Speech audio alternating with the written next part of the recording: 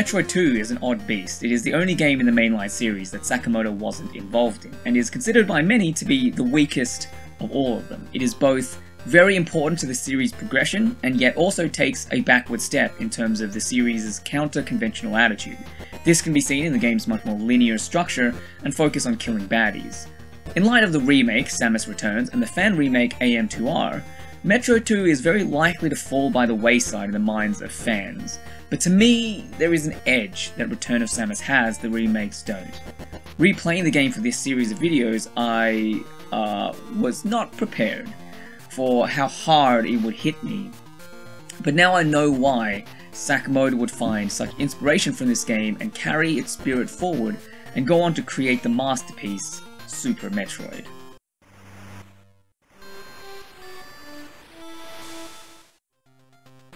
Metroid 2's story follows on from the first. Dealing with Mother Brain didn't eradicate the potential threat of the Metroids, so the Galactic Federation send in Samus to the homeworld of the Metroids, SR388, to essentially commit a xenocide. Her mission is to eradicate the entirety of the species so they would no longer pose a threat to the peace of space. Now, I'm not sure if it was because of the lack of Sakamoto's guidance or not, but I think this is a game that you could point to and say, yeah, this was made in the image of the film Aliens. The similarity of the two stories is quite easy to see. The heroine goes on a mission with the aim to eradicate an alien species. You're going out there to destroy them, right? Not to study, not to bring back, but to wipe them out. That's the plan. You have my word on it. All right, I'm in. The Metroids have also been brought up to the more alien code, and have multiple forms that are birthed from eggs and advance through development, molting into stronger forms. And as both stories reach their climax, the female protagonist has to fight a queen alien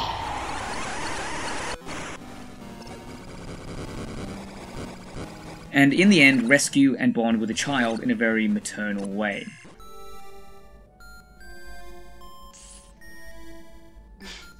So in many ways, Metroid at this point is still being defined by an other, but it is slowly coming into its own. On the gameplay front, following on from its predecessor, Metroid 2 sets up some things that the series continues to have.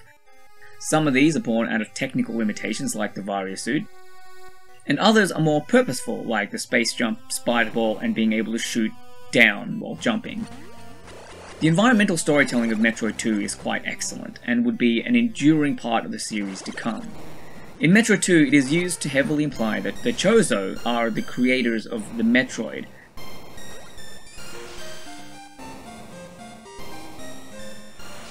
and also lays down some neat world building where the tougher creatures in SR388 exist closer to the Metroid layer, since they have to contend with the tougher forms of the Metroid.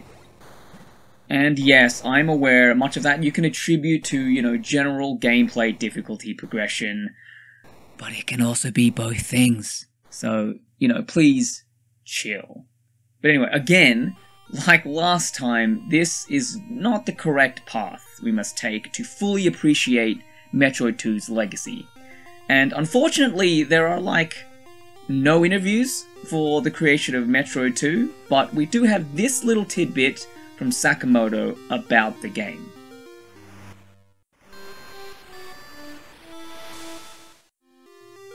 I think I may have discussed this a little bit in my GDC speech, how I was very moved by the last scene in Metroid 2, and that stimulus became my motivation and inspiration in creating Super Metroid. I spoke in the first video about how Metroid was girl boss, and that it was a little bit contentious. Now, I want to follow up on that because I was trying to apply that term's general vibe with the meta narrative of Metroid 1's creation. But with Metroid 2, I think you could begin to apply it to Samus's growth as a character. Now, the term suggests that, hey, you as a woman can be a boss too. What this leads to, though, is women just being part of that damaging capitalist machine and adopting the hustle lifestyle where you prioritize being a boss and earning money over everything else. That is part of the reason why it's a little bit contentious and why this meme exists. And you can look up the etymology of that meme on your own time, it's not exactly relevant to this video. So what Metroid 2 does on a narrative level is actually address that. Samus begins the game following orders with the intention of straight up eradicating an entire species and then at the end realizes that, uh, wait a minute, just because this is what everyone else does, maybe it's not the best call? The very moment this happens is upon the hatching of the baby Metroid. The mindless girl boss attitude gives way to, you know, actual thought and reason, and Samus chooses life over what she has been told to do. On the meta level, this is also the point where Metroid as a series no longer defines itself by external forces, Mario and Alien, but actively builds upon its own legacy. In Aliens, motherhood is expressed in a very human centric way, and that's understandably so, but Metroid's ending breaks away somewhat and does this in an interspecies manner. Being a parent is a profoundly impactful experience, or so I've been told. Now, as someone who is not a fan of children, I'm obviously not speaking from experience, but I have, you know, listened to, read, and otherwise have been subjected to the media and messaging of parents, and there does seem to be some level of consensus that it changes you. Your priorities shift, and your meaning in life or whatever is now defined by this new life. In Metroid 2, Samus begins the game as a thoughtless killer, but right at the end, that perspective changes when she becomes a mum. I believe that is why, in another separation from aliens, instead of some kind of tense, explosive escape sequence, Metroid 2 chooses to issue it for what is essentially a pleasant jaunt back to the spaceship. In the official remake, Ridley comes in to rule in the party and offer a cinematic finale, and in AM2R, we have a more zoomed out perspective that allows you to see the beautiful environments, with the Metroid being smaller as well to focus less on the two. Though both of these examples have their own benefits, I think they miss the point of what Metroid 2 absolutely understands. And that is that this moment is about Samus becoming a mother. The tighter perspective that is forced upon the rest of the game is leveraged here to now provide intimacy and focus on just these two characters. The way the mechanic of the space jump works makes it seem like Samus is dancing with the Metroid, and the backdrop of the twinkling stars invokes the feeling of limitless potential for this new life and this new relationship.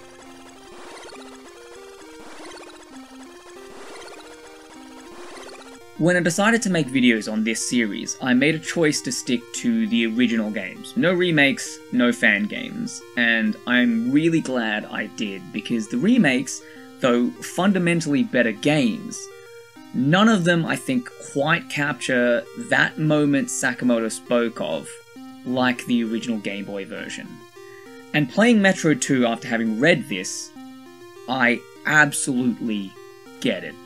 And I don't know if he felt exactly like I did, but I can absolutely imagine how playing this and seeing what the medium was capable of in terms of expression would motivate him to come back to the series and make it specifically about Samus and her very human struggles. So yeah, that's Metroid 2 in terms of a narrative analysis. What a nice short video. I love these, they're so much easier to edit. Now I have all this extra time to ask you guys things like, how are you going? I'm super excited for Metroid Dread, by the way. Are you?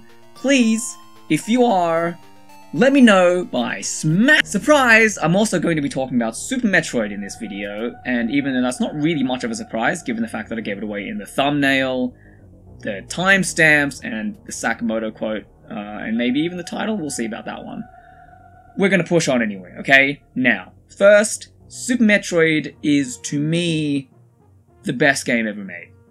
Okay, so I have essentially a thesis level video that I want to do at some point. So, for this video, I'm going to narrow the focus and speak on specifically what Super Metroid does in terms of that maternal narrative that was set up previously.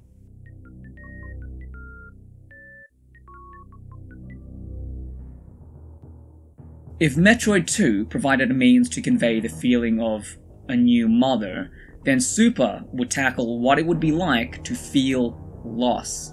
And it does not wait around. Super Metroid takes place right after the events of Metroid 2 and involves Samus dropping off the baby Metroid at a research station only for Ridley to come in and take it.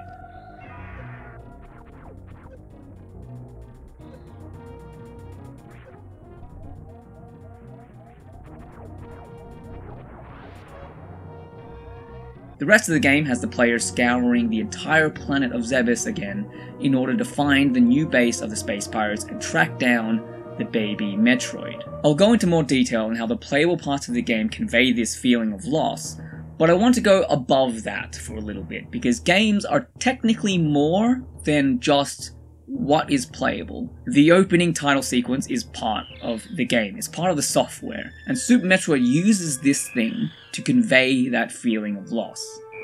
See, other than just setting the mood, an interesting thing happens if you try and skip it. No matter how hard you mash or what button you press, upon opening the game, you always have to see this screen. Even if it's just for a second, you are forced to view the baby Metroid and hear its cry.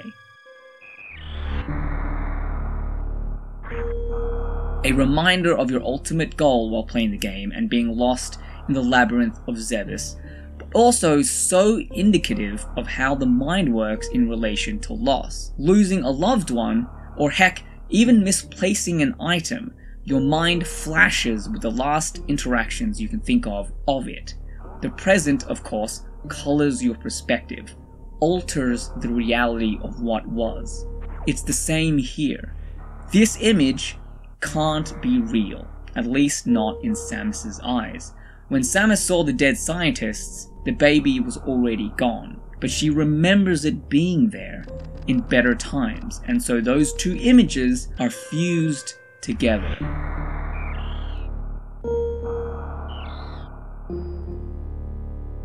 Now, diving into the planet proper, Lost can be seen in many places. For instance, after landing on the planet, the first place Samus goes is the old ruins of the Space Pirate base, a memory from the original game, a reminder of the loss from the side of the Space Pirates. Later on, we also get, for the very first time in the series, an actual visual indicator of the losses the Galactic Federation had on this planet before sending Samus in. Additionally, the bosses in Metroid are always a pretty big deal, and there are four that you need to defeat in order to unlock Tourian and face off against a Mother Brain.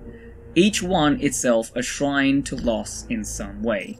Kraid is a direct connection to the past of Metroid 1, but also a reminder that things are different now. The space pirates you knew are no longer.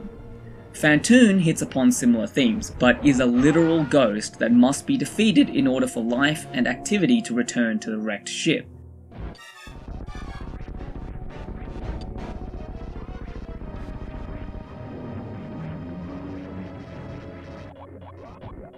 Draygon might not seem connected to loss until you defeat her, and then much care is given to show that Samus has taken a life in this world, and that her loss has beget more. Ridley is, of course, the instigator for all of these events and is directly tied to the loss of the baby Metroid, but alas, his defeat only serves to offer up one final challenge.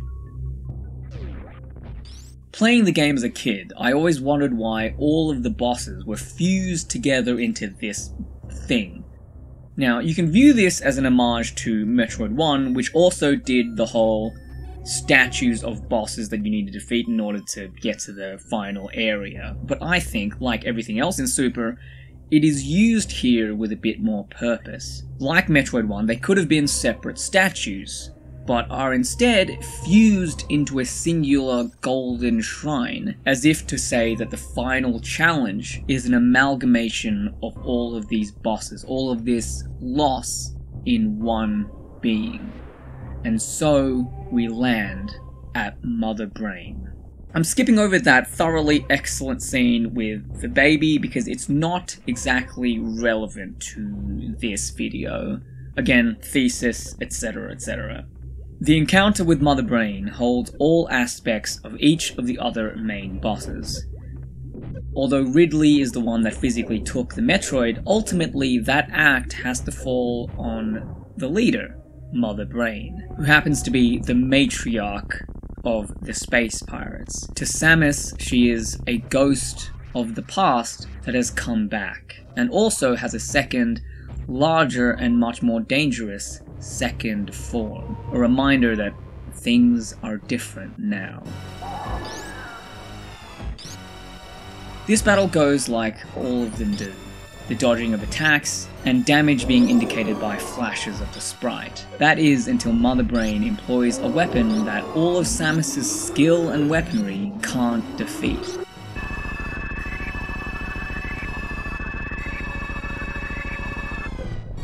Helpless, she waits for the final blow until the baby comes back to save her, as if it remembers its real mother.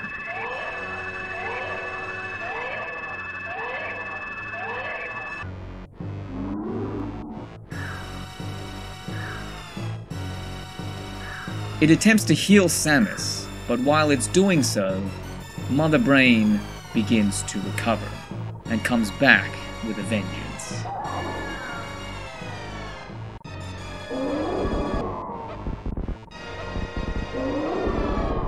And still helpless, Samus can only watch on as the baby is killed. See you later, buddy. One last thing I want to get at before we finish off that scene is wrapping up the loss that permeates the game. One of the things that is synonymous with grief and loss is the five stages, and they are, in one way or another, mostly all present in the game proper. Depression is sort of just the general mood, you know, isolation and all that, but we'll get to that later. Denial can be read in the opening title sequence and in the game's opening on Crateria as Samus revisits what is essentially Metroid 1, but retreating to the past is not enough. Things have changed.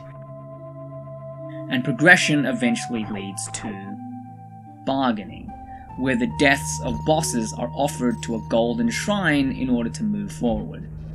Jumping back into this finale, then, and we have anger. For a while, I always thought the Hyper Beam was just a cool thing. Its depth mechanically fun, but in light of the various interviews and quotes I have read now, I think there is much more to it than just that. To me, the Hyper Beam is the game's way of expressing the power of the rage of a mother scorned. When hit with a Hyper Beam, Samus loses all of her ammo. Why? Why is the hyper beam obtained right after the baby's death? Also, if any of you had the idea to just settle down and, you know, chill at this point in time, you might have paused the game to find that all of the other beams are gone, consolidated into one.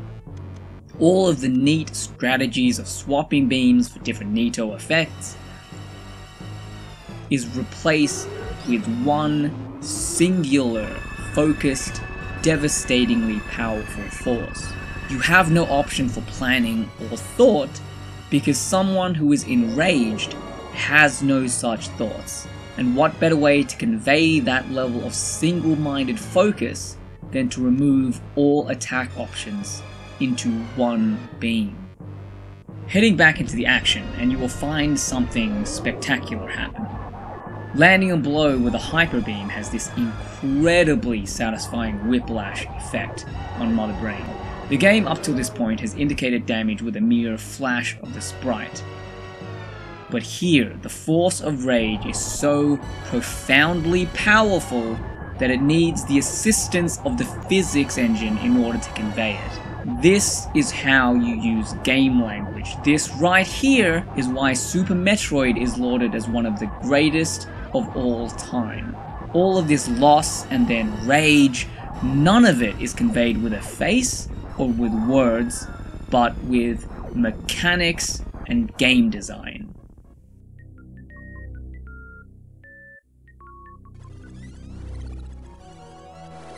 The ending of Metroid 2 moved Sakamoto to such a degree that from that point onward he knew exactly what this series would be about.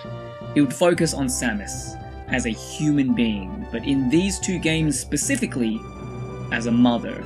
Super Metroid deals with the grief of a mother who has lost her child, and though the entire game is pretty sad, it ends on a moment of triumph, with that adrenaline still in the system, an indicator that you're still alive despite all the stages of grief denial, depression, bargaining, and anger. It is triumphant because at least you're still here, and so you must move forward.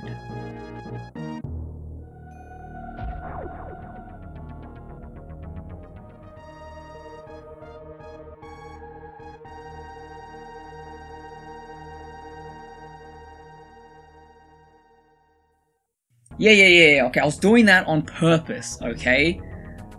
For those who weren't paying attention, I only mentioned four of the stages of grief, and that is because Super Metroid takes place in too short a span of time to really tackle depression and the fifth stage, acceptance. So you'll have to join me next time where the adrenaline rush of revenge has subsided and we are left in the cold of Metroid Fusion.